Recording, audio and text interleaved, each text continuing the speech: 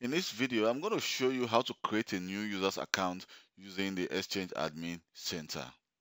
So normally, if you want to create a new user, user's account, you can actually go to your domain controller in Active Directory, and here we can actually use the copy of um, Tina Johnson to create a new user account, or we can decide to just right-click on the organization unit here and just click New, and we can say New User and then create a new user's account. But but we can still create that same account using the Exchange Admin Center. So let's say you want to create a new user's account and automatically assign an email address to this user. Because if you create that account in your domain controller, an email address will not be automatically assigned to the user. So let me go to back to my Exchange 02. Here, I'm going to actually click on the plus sign or recipients, the mailboxes. Just click on the plus sign and click users mailbox. So if you're creating a new user's mailbox, we have two options. We're to, we can either use an existing user or we can use a new user. So what I'm going to do is I'm going to actually use a new user here. I'm going to create this new user. I'm going to call it um, Moses. His last name is going to be, um, let me just call the call him Anthony. So going to Moses Anthony, and the user's logon name is going to be um, Moses that's Anthony at globalnigeria.com. See, we only have one um, domain name. So we're going to actually give Moses a new password. And then we're going to actually say, confirm the password. So we're going to require the user to actually change their password as at the next on next logon, just the way you would do it when you create it from a domain controller. So we also have the more option. So here we can actually decide to assign um, confirm if Moses is going to be on which database Moses can be.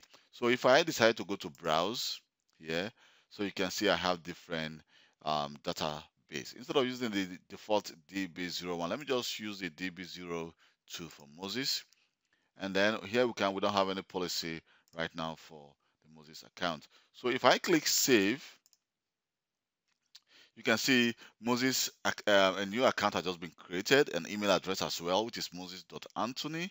But let me go back to my domain controller here.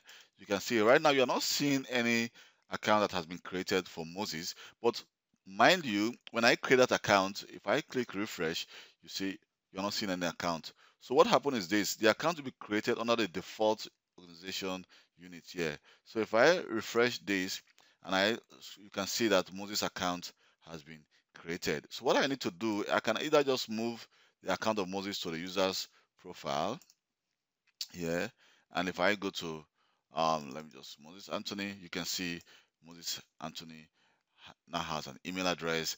He has an account. If I go to account, you can see Moses also has a logon name. And as well, you can see that the account option, users must change password at next logon has been checked as well. So which means when Moses tries to log on to a new computer, Moses will need to actually change his pass password. But if you try to create a new account, let me just give you an example here. Users mailbox, and you try to create a new user account, we can actually browse to say, okay, where do we where do we want to create this account? So we want to create account. You can actually choose the organization unit where this account should be created. So if I go to my the GN users and I choose the users, so which means any account when I create this account is going to actually be saved directly to this organization unit and not to the default organization unit. So I did that for you to actually see when you create an account where the account will be automatically saved without you selecting the organization unit where you want that, that account to be saved. So that is how easy it is actually to actually create an account using the Exchange Admin Center. Thank you for taking your time to watch this video. My name is Kelvin Johnson. And please, if this video has been of any help to you, don't forget to give me a thumb up and also subscribe to my YouTube channel for taking my time to, to, to create this video. I will appreciate it a lot. Thank you very much.